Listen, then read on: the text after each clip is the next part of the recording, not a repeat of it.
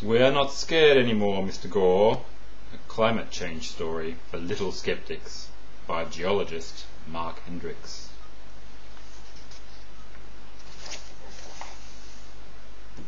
Miss Green had a surprise visitor for us. Mr. Gore has popped in to tell us about dangerous climate change.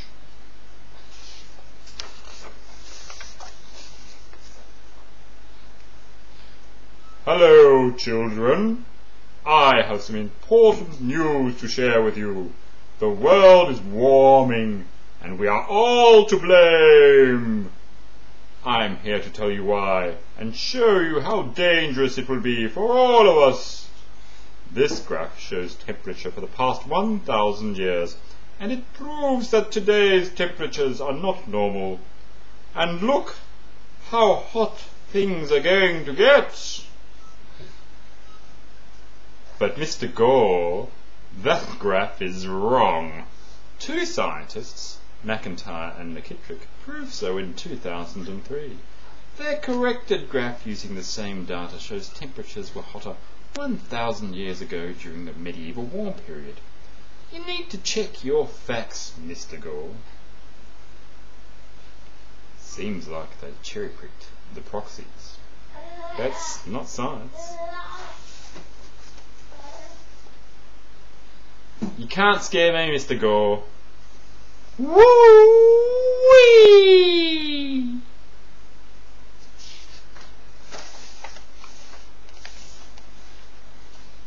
So, why is the climate heating up? It's all due to carbon dioxide from man-made sources. CO2 is a greenhouse gas. More CO2 in the atmosphere will cause the temperatures to rise. Every time your mum or dad drive their car, they help heat up the planet. This graph shows how CO2 has increased since 1750. It's gone up by 100 parts per million. Look how high it could go. Mr. Gore, CO2 has a logarithmic effect on temperature. Most of the rises due to CO2 have already happened. Adding more CO2 won't do much to the temperature. Mum and Dad can drive the car all they want. Thank you very much. Mr. Gore, this graph shows temperature and CO2 data for the last 650,000 years. If CO2 is solely responsible for warming, then why does a rise in temperature occur before a rise in CO2? You have things the wrong way round, Mr. Gore. You can't scare us, Mr. Gore. Whee! Not again.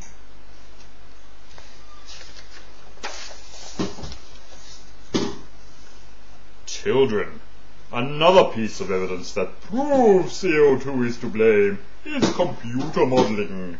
Computer models predict things will get much hotter if we don't stop burning fossil fuels.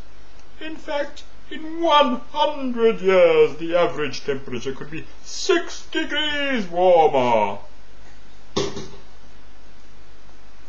Mr. Gore, computer models are not evidence. Computer models have not been able to predict temperature changes over the last 20 years. Why would anyone trust them to predict climate 100 years into the future? Even the IPCC admit that long-term prediction of future climate states is not possible. Nice try, but I'm not scared. Garbage in, garbage out.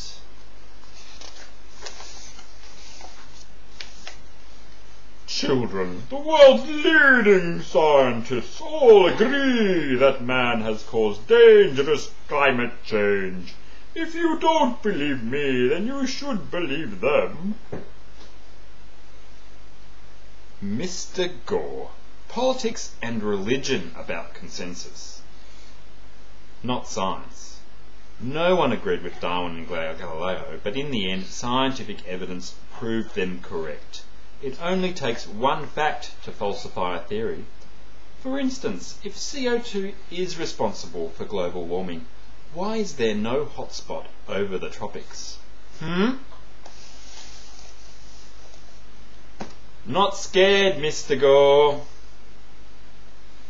It's funny how some researchers rely on computer models of wind shear to take atmospheric temperatures, when weather balloons will do just fine. Why would you use an anemometer to measure temperature?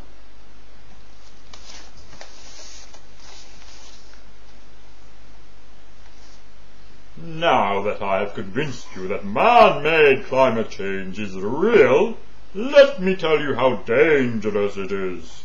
If we don't reduce our carbon emissions, sea levels will rise, flooding low-lying coastlands. Some islands will disappear under the rising tide. Come on, Mr. Gore. Even the IPCC predicts that sea levels will only rise about 20 centimetres over the next 100 years. This is about the same rise that occurred last century. We don't need Noah's Ark, Mr. Gore.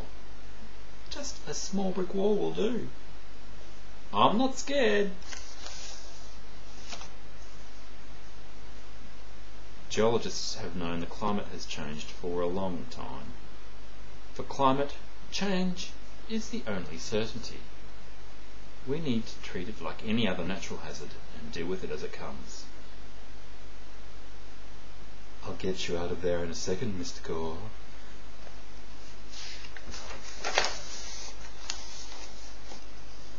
Children, there will be more hurricanes and more heat waves. More people will die! Mr. Gore, even if you are correct, an increase in wind shear will offset higher sea level temperatures, higher sea temperatures, leading to little or no change in hurricane activity. As for heat waves, it actually means less people will die from the cold, so it's a good thing. My Nana says the warmth helps her arthritis. I'm not scared, Mr. Gore. Oh no, a hurricane! Don't worry, Mr. Gore, I've got you.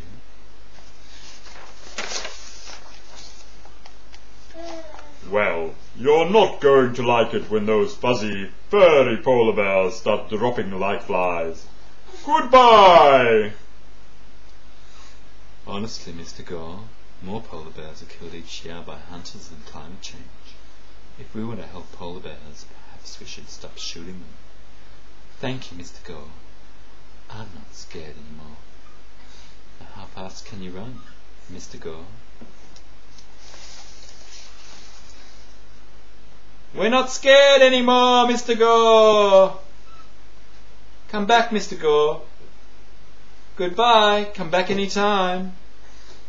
Oh, no ammo. Oh well. Run, Mr. Gore. Run. Click, click. Run, Mr. Gore. Run.